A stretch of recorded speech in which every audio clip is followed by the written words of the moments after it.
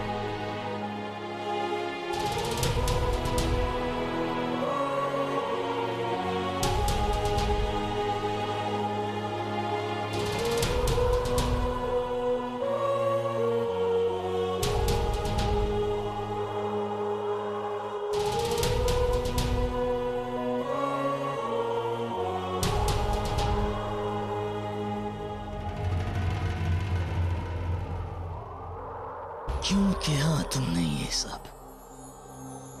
क्या मिला तुम्हें ये सब करके? क्यों तुमने हमारी ज़िंदगी को तबाह कर दिया?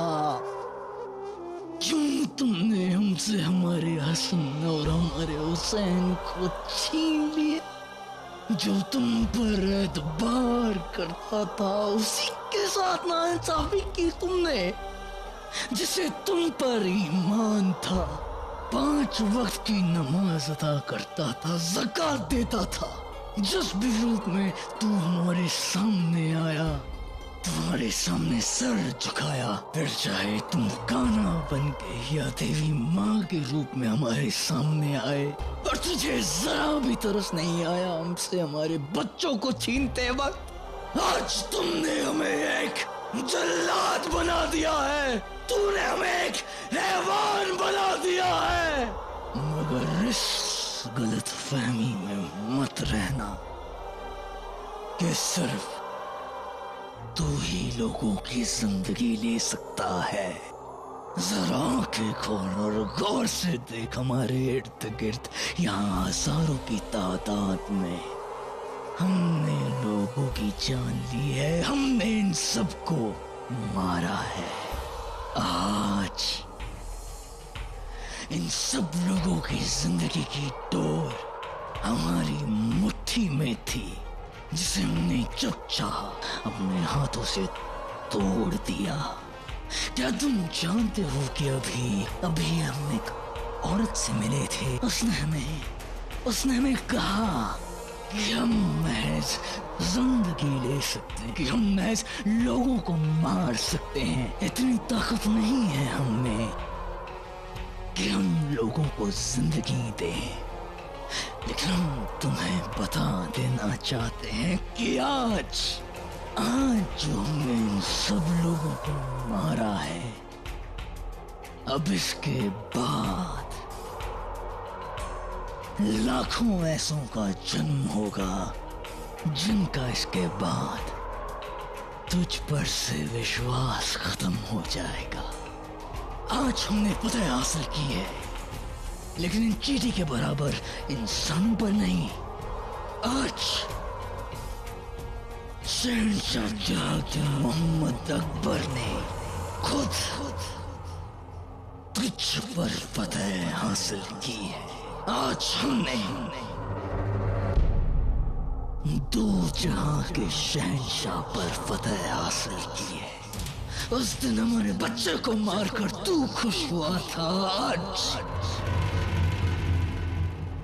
आज हम खुश हैं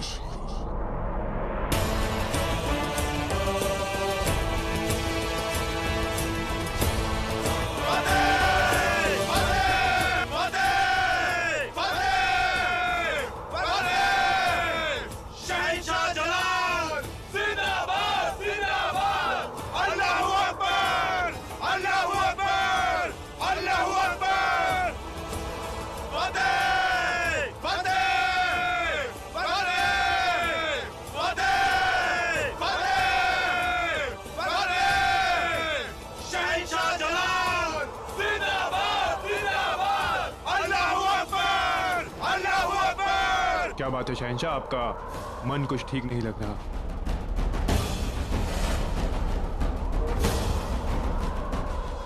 नहीं जानते हमारे साथ क्या हो रहा है। हम खुश तो होना चाहते हैं, लेकिन खुश हो नहीं पा रहे हैं।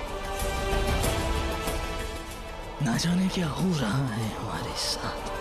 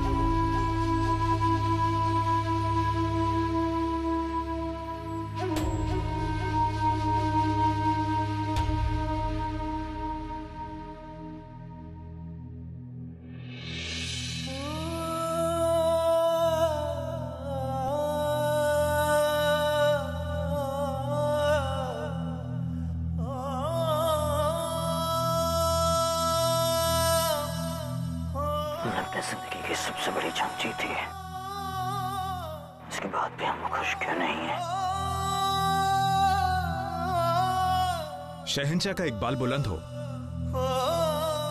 सूफी शेख सलीम चिश्ती साहब ने आपको याद फरमाया है। कि तुमने हमारा पैगाम नहीं दिया कि अब हम खुदा परस्त हैं। अब हमारा खुदा पर यकीन नहीं है। जी बेशक। लेकिन फिर भी चिश्ती साहब पिछले चार महीनों से लगातार आपको याद कर रहे हैं। कल फिर से उनका पैगाम आया कि आप परेशान और बेचैन हैं। इसलिए आपको उनसे मिलना चाहिए। सलीम चिश्ती साहब ने कहलवाया है कि अगर आप उनसे मिलना नहीं चाहते फिर भी एक आखिरी बार उनकी गुजारिश कबूल करें।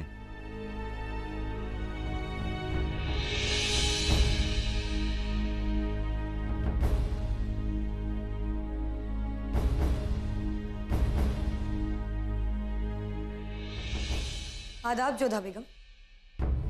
प्रणाम। रुकै बेगम आप? हाँ। बहुत अरसे बाद खुशखबरी आई थी। तो हमने सोचा कि खुद आपको आकर दे दे।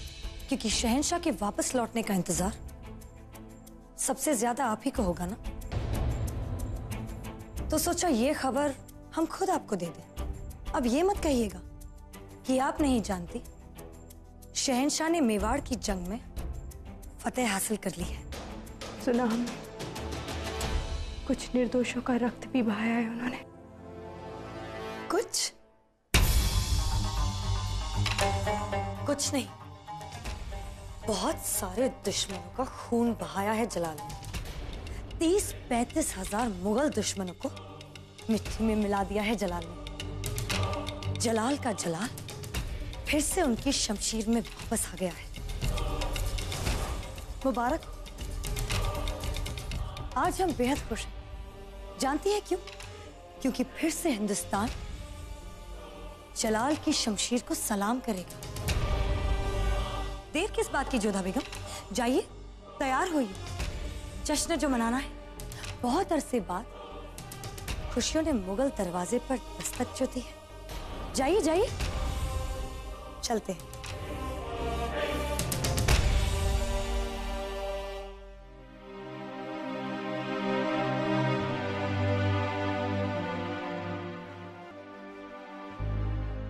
कई निर्दोषों का रक्त बहाने के पश्चात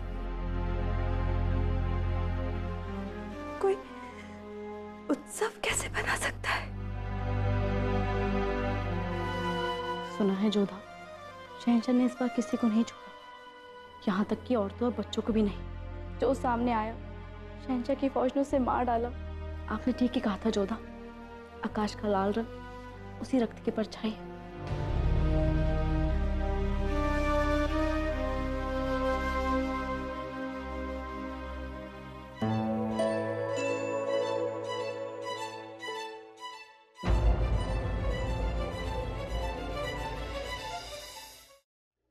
आखिर जलालुद्दीन मोहम्मद ना चाहते हुए भी शेख सलीम चिश्ती की दरगाह पर पहुँच ही गया।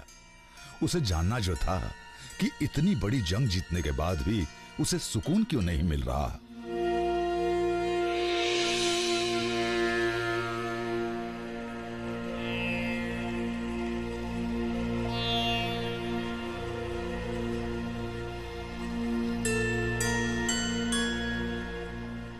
वालेकुम अस्सलाम। आइए शहनशाह। आज सलाम में वो अदब नहीं। मैं इस दुनिया की सबसे बड़ी जंग पर फतह हासिल करके आया। अब इस दुनिया को उस खुदा के सामने झुकने की ज़रूरत नहीं है, क्योंकि ये दुनिया अब हमारे सामने झुकेगी सलाम आपको मैं करना चाहिए। अजीम और शहनशाह जलालुद्दीन मोहम्मद अकबर को।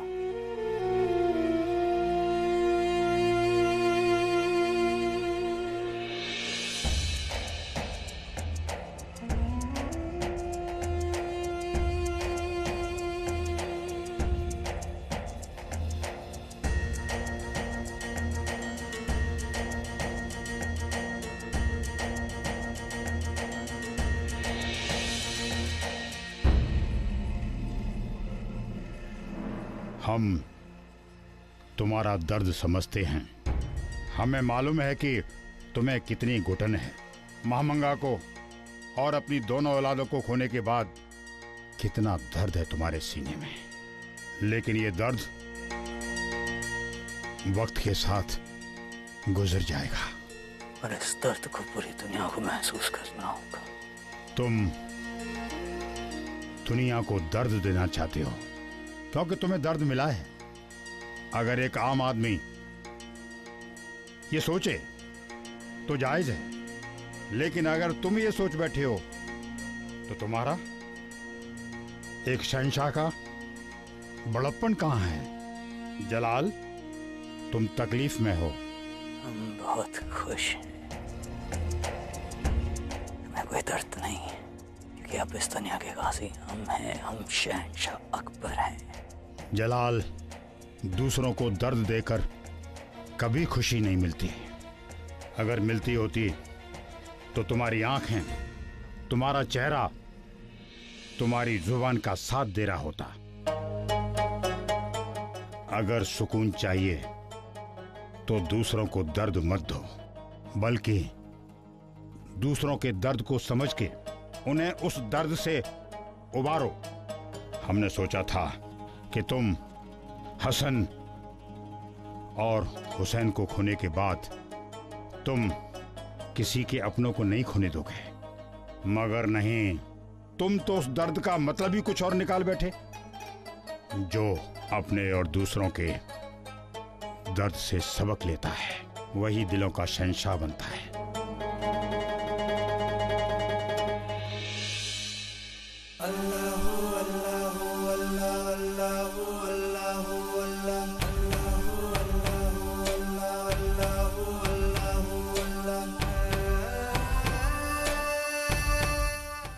बहुत बड़े बादशाह हो। लेकिन हमसे छोटे उम्र में बड़े होते देखा है तुम्हें। सही से गलत रास्ते पर जाते हुए भी वापस सही रास्ते पर आ जाओ जलाल। अपने अंदर के शैतान को अपने ऊपर हावी मत होने दो। एक बार दूसरों को दर्द देकर देख लिया ना, राहत नहीं मिली ना अपनी ताकत का इस्तेमाल दूसरों को खुशी देने में करो। इंशाअल्लाह सुकून मिलेगा तुम्हें।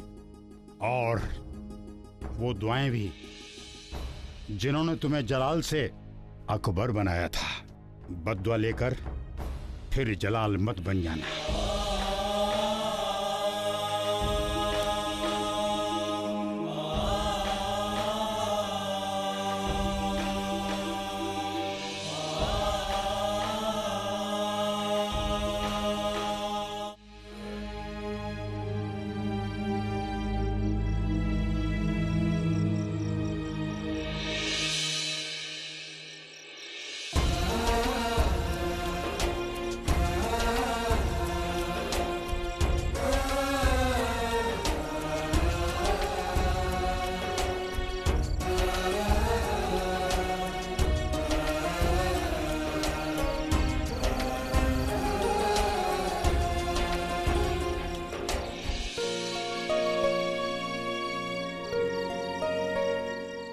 हमारा मन बहुत अशांत हो गया था।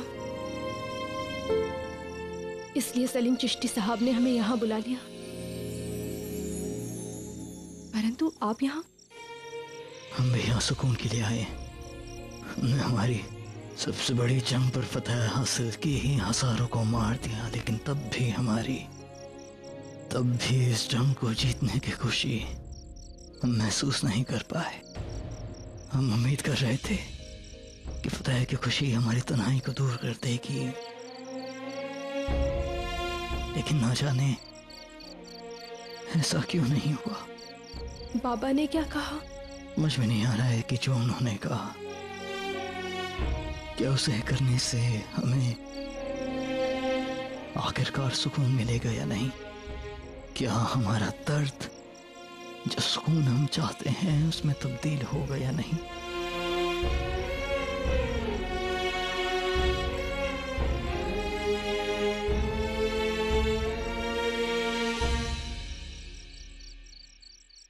कितना समझाना चाहा आपने हमें।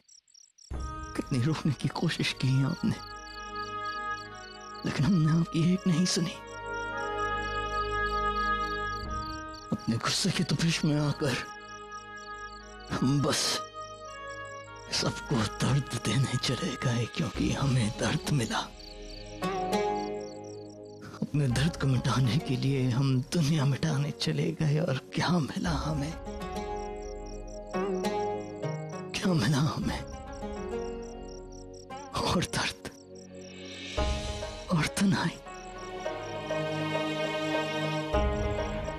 हमसे बहुत बड़ी गलती हो गई है जोधा बेगम हमने बहुत बड़ा गुनाह कर दिया है।